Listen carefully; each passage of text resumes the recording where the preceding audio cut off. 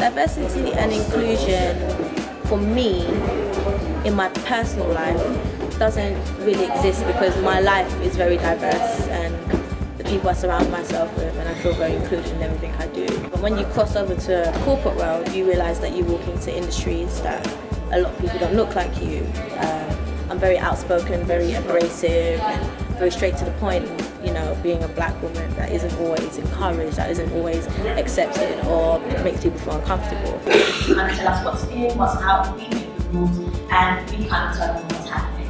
Um, but the truth is, young people are kind of hard to reach um, and not Diversity is a, a wide topic because honestly nowadays I feel like companies they use the word diversity for money so let's say they'll put in like ethnic groups let's say they'll put in like let's a black person or an Asian person and then they'll put in like I don't know a Spanish or Hispanic person into one like group and then they'll be like everyone else will be like yeah yeah yeah look they're doing diversity like we never see this before it's usually just like a group of white people but I feel like they do it for money some of them like I don't feel like you can truly look on TV or anything and be like this is diversity because I just don't trust it anymore. It's, it's more than just bringing people in um, of different ethnicities um, and it's not always about race, it's about different thinking, different backgrounds where they come from.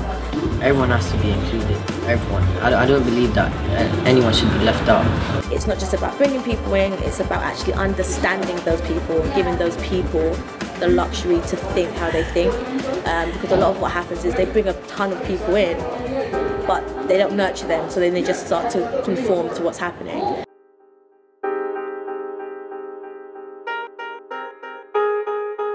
How people should be more authentic, especially corporate businesses should be more authentic because at the end of the day, transparency is the thing that's going to help drive these businesses forward. The, the, dialogue needs to be there and, and something needs to be done and we do need to be able to talk about it without feeling insecure, without feeling that you know we're out of place. Instead of using that as almost a tip box, kind of put it into perspective of no, this is the way it's going to be. Because essentially, all human, we're, we're all part of the same society, why aren't we all represented to the same level?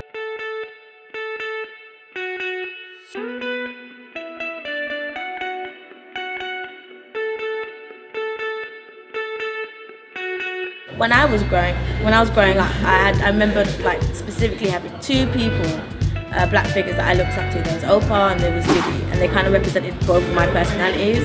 Because I'm like as crazy and as forward thinking as Diddy is, but then Oprah had this like thing that I never had, which was like this regal, like like emotional understanding of people, and just seeing those two people be at the heights of like the entertainment platform.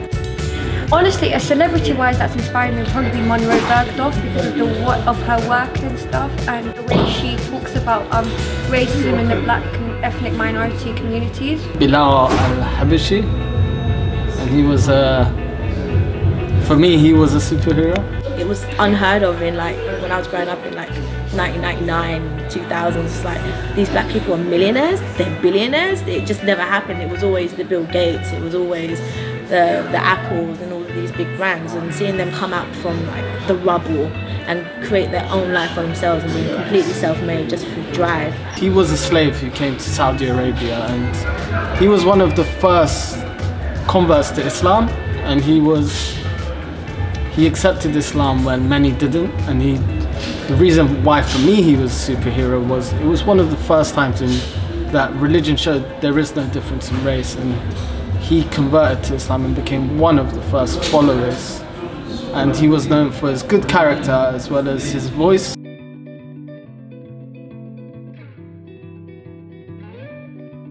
I'm Maria Petnga-Wallace, by the way, diversity and inclusion partner at Dentsu Aegis Network. so we spoke a lot about authenticity, creating um, our own stories on whatever platforms we want to reach the audience that we intend to reach.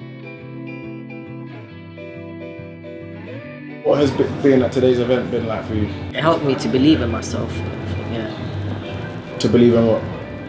Like to do what I want and something that I enjoy.